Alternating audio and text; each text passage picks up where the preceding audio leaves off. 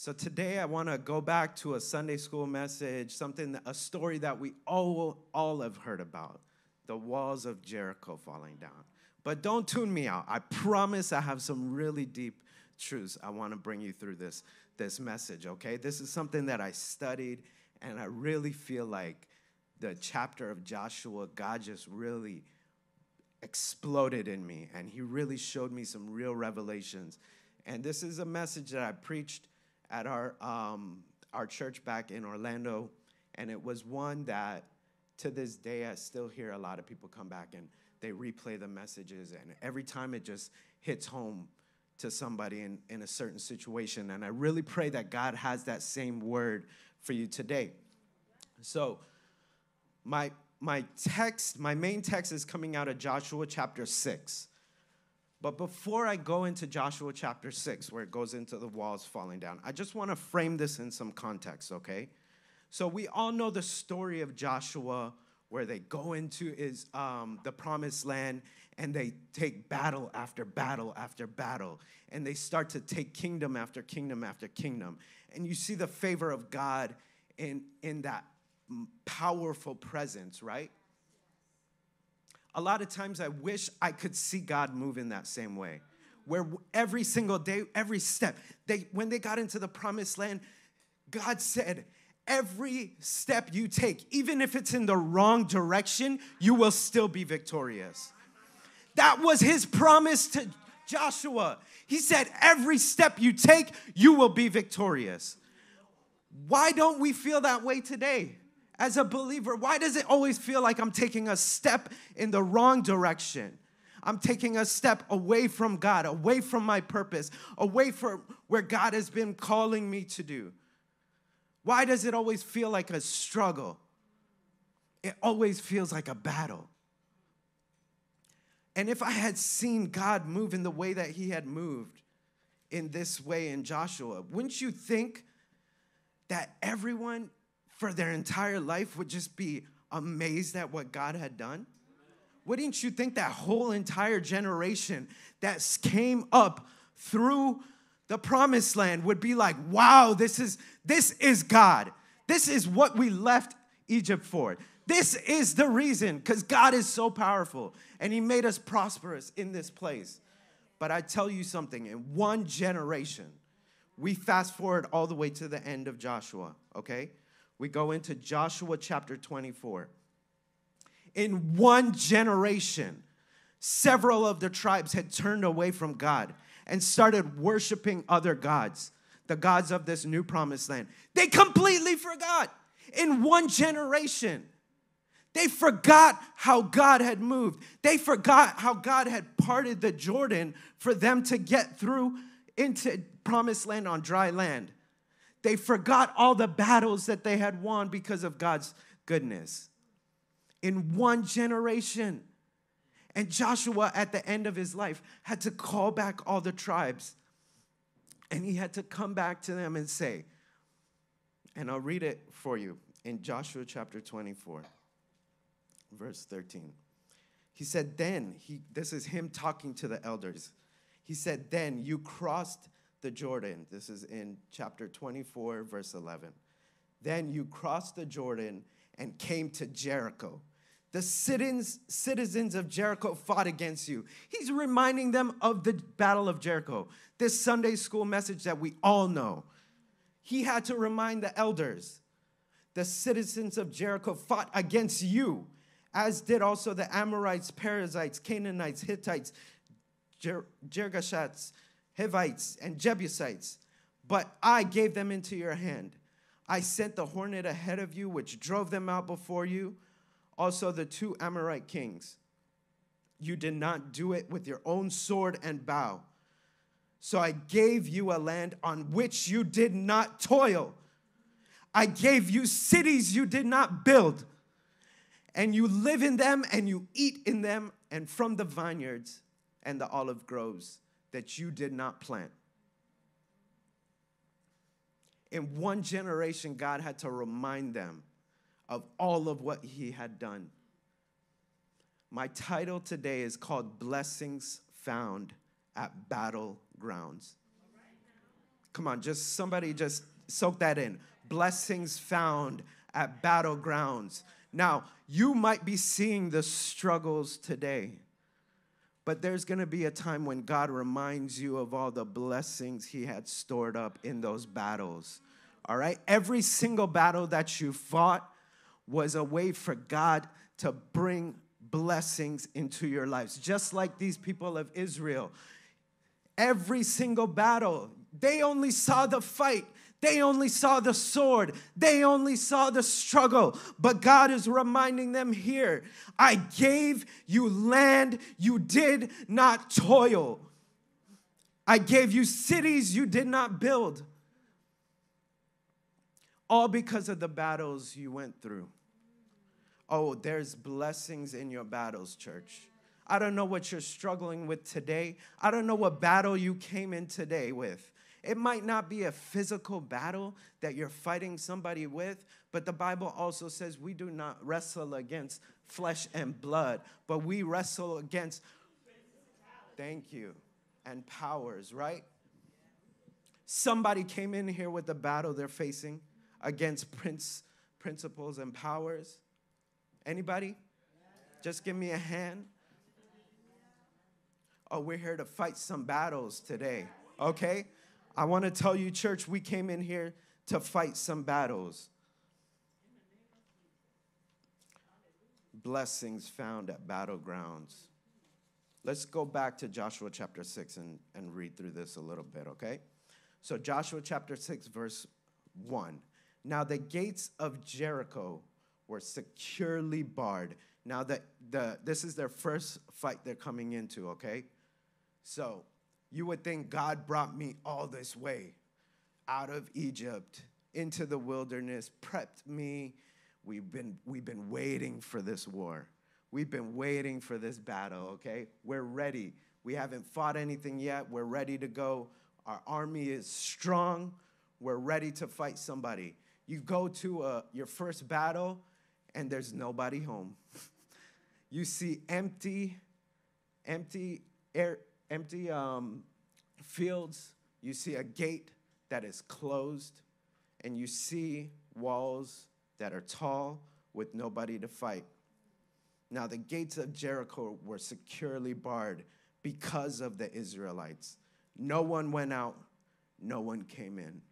I wonder who in this church is, is facing a situation where you feel the gates are just securely barred. Like you've been prepping for this fight. You've been praying. You've been praying and praying and praying. You've been fasting. You've been getting on your knees. You've been coming to church. You've been doing everything to prep for the battle. You've been doing everything the word says to get into a position where you can see a victory. But you're facing closed doors. All you see is closed doors. You pray for an opening, you pray for a miracle, but God just shows you a closed door. God just keeps closing door after closing doors. It might be a job offer that you've been interviewing for, and you keep interviewing and interviewing and praying about it, and, and you've been applying to job after job after job, and all you see is, We're sorry to tell you this, we're sorry to inform you we're sorry, we're sorry, we're sorry. And you keep praying and you keep fasting and you keep believing and you keep preparing, but you see closed door after closed door after closed door. But God, this is the place where you brought me to. This is the position that you called me to. This is what you put me in. This is what you prepared for me for. This is what you promised me. Why do you, I keep seeing closed gate after closed gate and not just closed but securely barred? Why would God bring me into that situation? Why would He bring me into this place of hopelessness? Verse 2 Then the Lord said to Joshua, and I love this scripture verse. If you really dive into the to the meaning behind and the feeling behind Joshua at this point. Because you could, you could tell Joshua at this point probably felt so discouraged, right? I want you to feel that. Now, see how God flips the script. Then the Lord said to Joshua, See, I delivered Jericho to you. See, I deliver. How does, how does this make sense? God, I am seeing closed gates, tall walls with no one to fight, and an army twiddling their thumbs. And God says, See, I delivered Jericho to you. And I could almost hear God's inflection in that, in that verse. See? Like almost like he's teasing Joshua. See, I delivered Jericho into your hands, among, along with its king and its fighting men.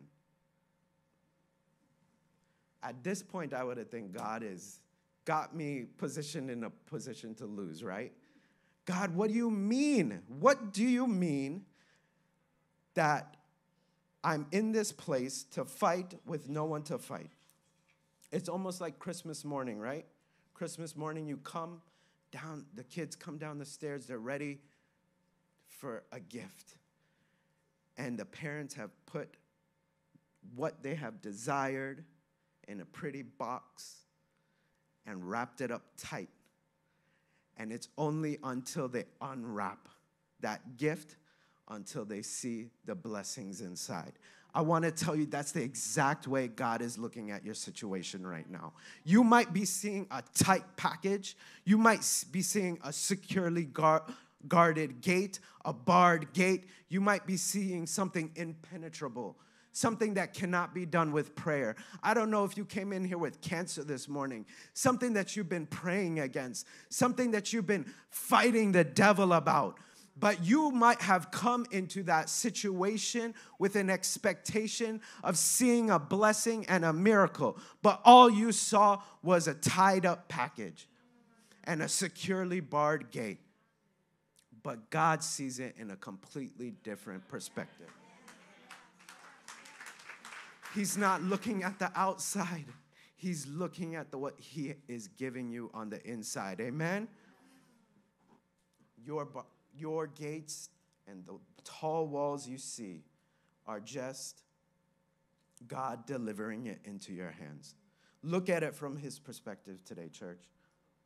So th- the Bible says in let's go verse 3 to 5. I'm going to read this now. God says, March around the city once with all armed men. Do this for six days.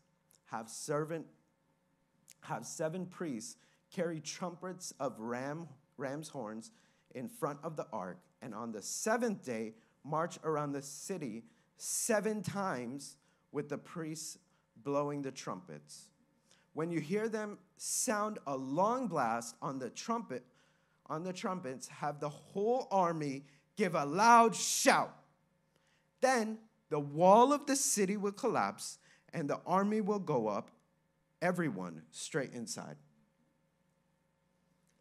So God gives the order after he shows Joshua what he has done for him. One trip each day for six days, walking in circles quietly. That's what God has brought them to do. Walk in circles for six days, one time each day, quietly.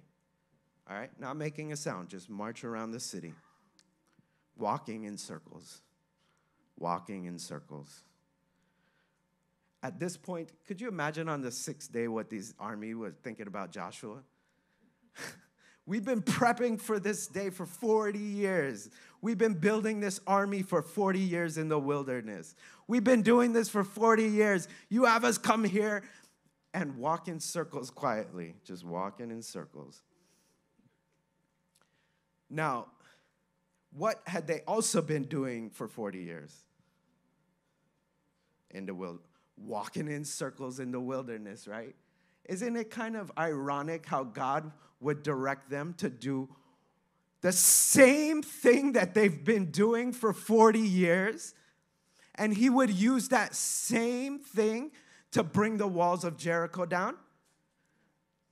Oh, I don't know if you feel like you just been walking in circles, coming to church Sunday after Sunday, praying about the same thing, giving the same tithes Sunday after Sunday, having the same faith, doing the same thing, going to work Monday through Friday, making the prayer, coming to church on Sunday, going and doing it again, walking the same thing with the same prayer. Every single time around, you see no change. You see no change. Day one, nothing.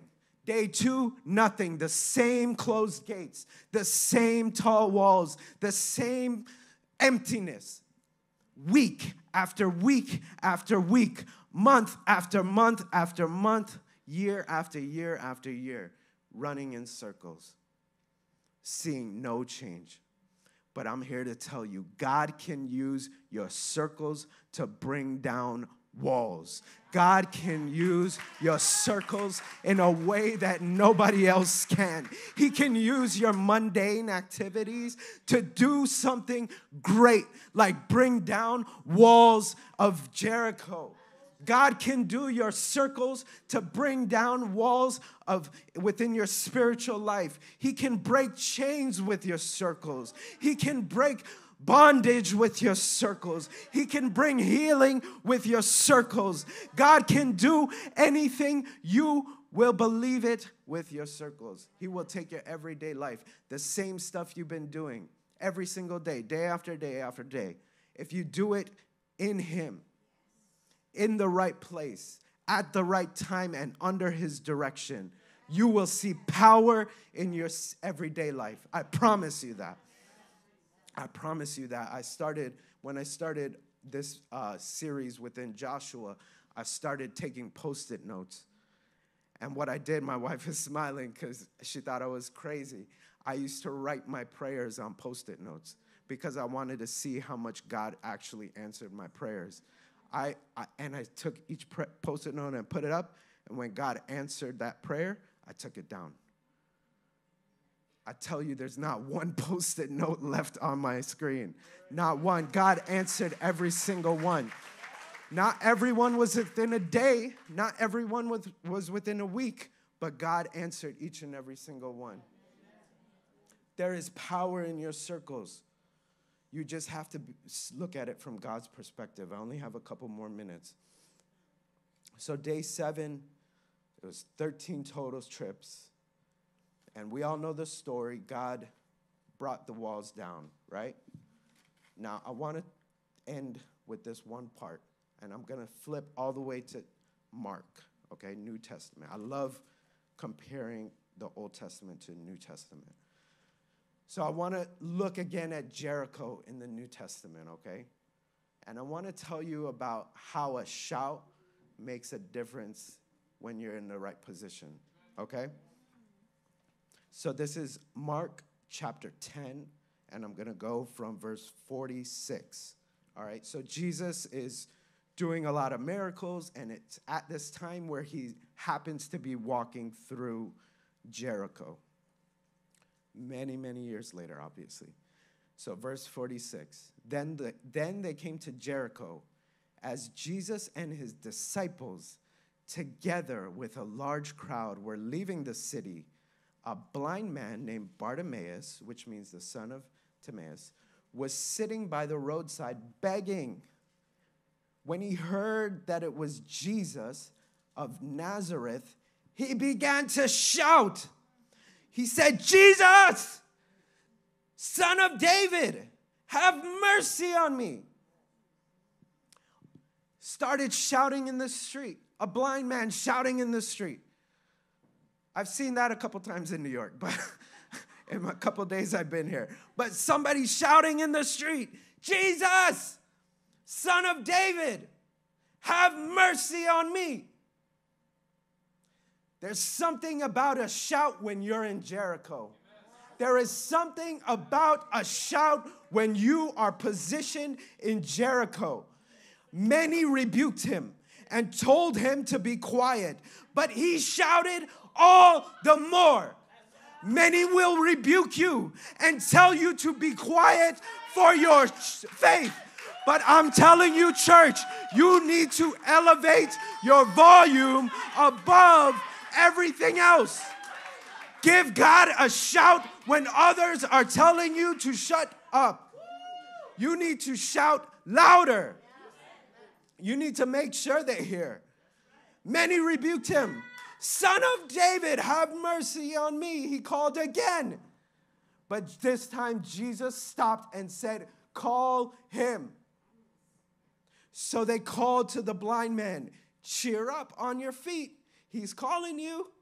Throwing his cloak aside. Now, this was a beggar's cloak. This meant that you were uh, certified by the state to be a beggar.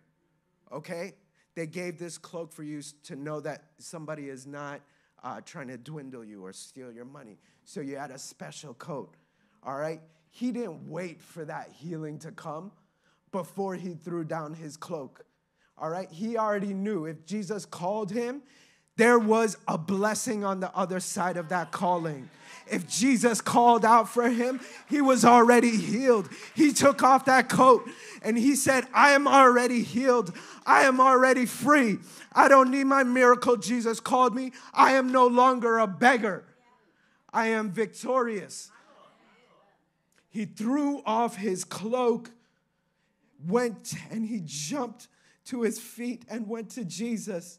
Jesus asked him, What do you want from me? Jesus said, The blind man, the blind man said, Rabbi, I want to see. Oh, if some people in the church would only have that prayer. I just want to see what you see, God. I want to see what you see. I want to see the package that you see it. I want to see Jericho the way that you see it, God. I don't want to see it from my own eyes, but God, in the name of Jesus, I want to see it from your eyes. Oh, if we could only see what God sees. Go, said Jesus. Your faith has healed you. Immediately, immediately. Oh, I believe, church, and I'm closing on this. If everybody could just stand up to your feet. Immediately, in the name of Jesus, he was fully restored.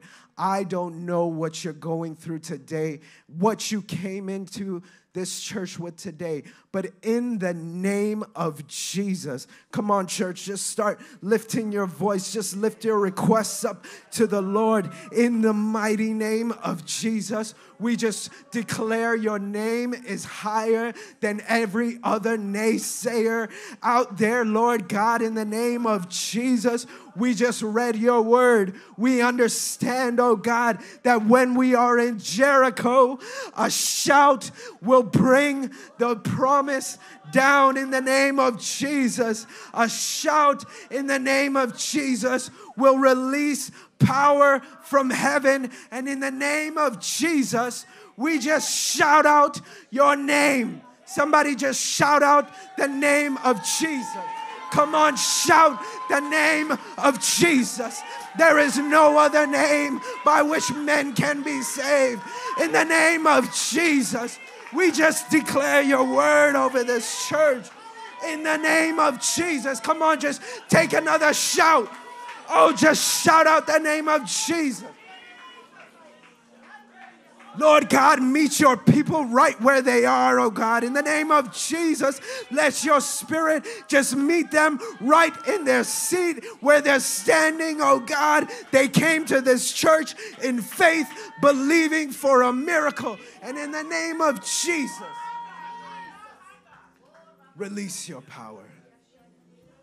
Release your power, God. God, we dedicate this time to you. We dedicate this word to you, God. Let the walls fall. Let them see what you see, God. And let your power move in their lives in a way that they have never seen. Let every step that they take be victorious. Somebody give God some praise.